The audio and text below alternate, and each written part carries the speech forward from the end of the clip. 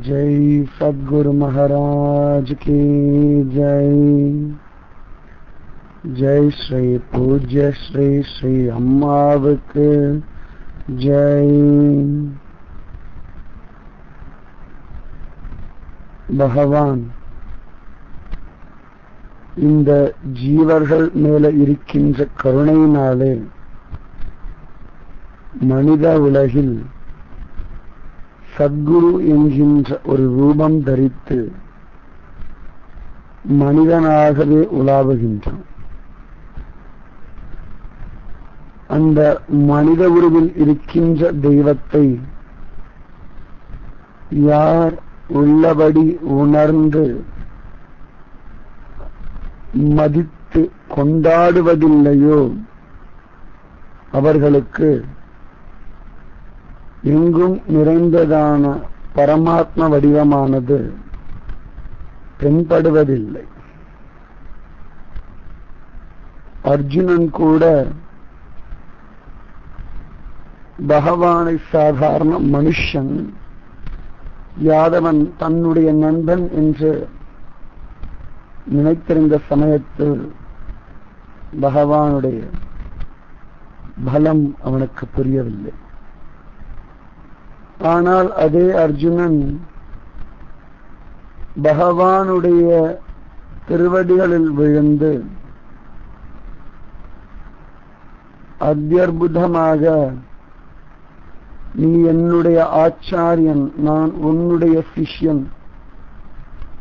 எனக்கு எது நல்லதோ அதை சொல்வாயாக?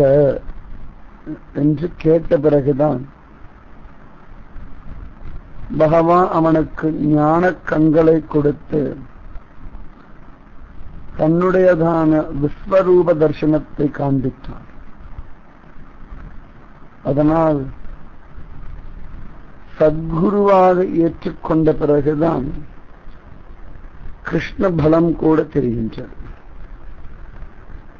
குருவானவர் நம்முடையதான அகம்பாவத்தையும் மமகாரத்தையும் கற்பனைகளையும் நாசம் செய்து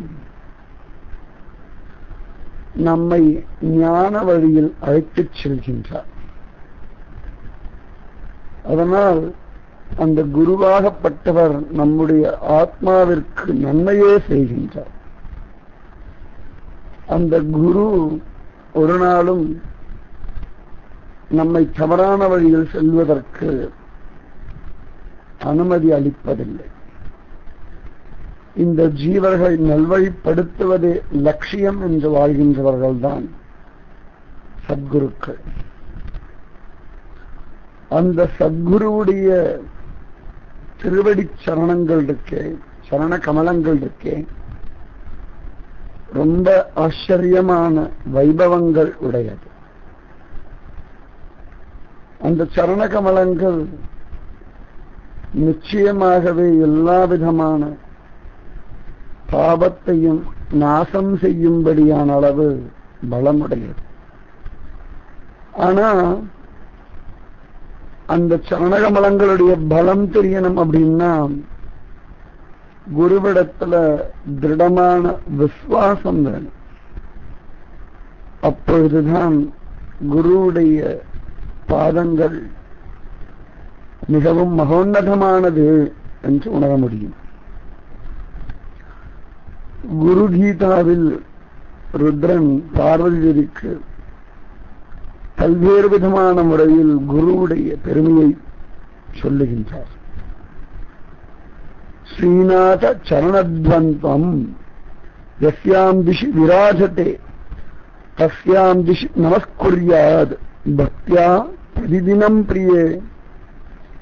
ஏ பிரியே ஸ்ரீ குருநாதருடைய இரு திருவடிகளும் எந்த திக்கில் பிரகாசிக்கின்றதோ அந்த திக்கை தினந்தோறும் பக்தியுடன் நமஸ்கரிக்க வேண்டும். குரு எந்த திசையில இருக்காரோ அந்த திசையே ஒரு சஃபிஷனுக்கு அற்புதமான ஒரு திசை. லோகத்துல பார்த்தோம்னா சூரியன் உதிக்கின்றதான கிழக்கு திசை ரொம்ப சிரேஷ்டம்னு சொல்றோம். ஆனா உண்மையான சஸ்பிஷன்களுக்கு குரு எந்த திசையில இருக்காரோ அந்த திசையே மிகவும் உத்தமமான திசை. அது கிழக்கோ மேற்கோ வடக்கோ தெற்கோ வடமேற்கோ தென்கிழக்கோ. எட்டு திக்குக்குள்ள எந்த திக்குல சதாச்சாரி இருக்கின்றாரோ அதுவே மகோன்னதமான திசை. ஒவ்வொரு நாளும் சசிஷ்யனாகப்பட்டவன் சசிஷையாகப்பட்டவள் இந்த குருநாதர் எந்த திசையில இருக்காரோ அந்த திசையை நித்தியம் பக்தியுடைய நமஸ்கரிக்கணுமா? அப்படி நமஸ்கரித்தனாலே நிஜமாவே பெரியதான ஒரு பிரயோஜனம் கிடைக்கும்னு பெரியதா சொல்றான் இது சரிதானா அப்படின்னா நிச்சயமாக சரிதான் குருதேவருடைய தேகம் எங்க இருக்கின்றதோ அந்த தேகம் இருக்கின்ற திசைதான் சசிஷனுக்கு நல்லதை தருகின்ற திசை. அதனால அந்த திசையை நிச்சயம் நமஸ்கரிக்கிறது. ஒரு சசிஷனுடைய கடமை அவனுடைய பாக்கியம். லோகத்துல எத்தனை பேருடைய கால்கள்ல விழுந்து சேவிச்சாலும் பாவம் நாசமாகிறது இல்லை புண்ணியம் கிடைக்கிறது இல்லை ஆனா குருவுடைய திருவடியில விழுந்து சேவிச்சாச்சு அப்படின்னு சொன்னோம்னா நிச்சயமாவே சகலவிதமான பாவங்கள் நாசமாயிடுறது. எல்லா விதமான புண்ணியங்களும் தானா வந்துடும் மோட்சமே கிடைக்கிறது. குருவுடைய திருவடியில விழுந்தா மோட்சமே கிடைக்கும்னா மற்ற பாவங்கள் அழியும் சொல்ல வேண்டிய அவசியம் கிடையாது. ஸ்ரீ ராமானுஜருடைய சிஷ்யில ஒருத்தி கொங்கில் பிராட்டின்னு பேர். அந்த கொங்கில் பிராட்டி ஒரு சந்தர்ப்பத்துல ஸ்ரீரங்கம் வந்திருந்தா. ராமானுஜருடைய பிரபாவத்தை வைபவத்தை கண்ணார கண்டாள். உடையவர் ராமானுஜரிடத்திலிருந்து மந்திர உபதேசம் வாங்கின்றாள் அவருடைய திருப்பாதிகைகளையும் வாங்கின்றாள் தன்னுடைய தேசத்துக்கு திரும்ப வந்துட்டாள் ஒவ்வொரு நாளும் அவள் தன்னுடைய கொங்கு தேசத்தில் இருந்துட்டு சுவாமி ராமானுஜர் இருக்கும்படியான ஸ்ரீரங்கம் இருக்கின்ற திசையை நோக்கி நித்தியம் தொழுது எழுது சேவிச்சிருவாளாம் அவள் காத்தால எழுந்தவுடனே செய்கின்ற முதல் கர்மா இதுதான் ஒவ்வொரு நாளும் அந்த திசையை தொழுதுட்டு ஆச்சாரியனே இன்றைய பொழுது உம்முடைய கிருப்பையினால அடியாருடைய மனசு பக்தியில ஈடுபடணும் பகவத் தியானமே கத்தின்னு கிடக்கணும். உங்களுடைய ஆசைப்படி இன்று முழுவதும் அடியால் பரமாத்மாவிற்காக எல்லா கர்மாக்களையும் செய்ய வேண்டும்னு பிரார்த்தனை பண்ணிப்பார் அப்படியேதான் ஒவ்வொரு நாளும் இந்த கொங்கில் பிராட்டி செய்கின்றாள். அதே போல நித்தியம் ராத்திரி படுத்துக்கும் போதும் ராமானுஜர் இருக்கும்படி அந்த திசையை நோக்கி தொழுதுட்டு சேவிச்சுட்டு தான் தான் இன்னைக்கு செஞ்ச கர்மாக்கள் எல்லாம் ஆச்சாரிடத்துல மானசீகமா சொல்லிட்டோம் தன்னுடைய கர்மாக்களின் பிரயோஜனத்தை ஆச்சாரியன் திருவடிகள்ல மானசீகமா அர்ப்பணம் பண்ணிட்டு தான் படுத்துப்பாளாம் இந்த கொங்கில் பிராட்டி. அவ்வளவு சிரேஷ்டமான ஒரு பலம் உடையது இருக்கிற திசையை நோக்கி சேவிக்கிறது. அந்த மாதிரி இந்த கொங்கில் பிராட்டி அப்படி ஒரு சேவிச்சிருக்கா? பரமாத்ம தியானத்துல எல்லைய பார்த்திருக்கா? அப்படி அவள் நித்தியம் சேவிச்சதற்கு என்னடா பரிசு கிடைச்சது அப்படின்னா அவள் இருக்கிற இடம் நோக்கி சுவாமி ராமானுஜர் தானாகவே வந்தார்.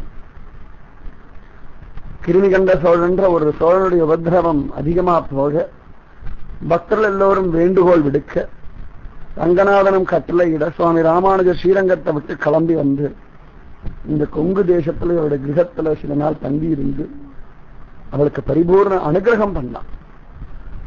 இத்தனைக்கும் அவள் நித்தியம் ராமானுஜரோட இருக்கிற திக்க நோக்கி தொழுதனாலதான் இப்பேற்பட்ட ஒரு பாக்கியம் கிடைச்சது.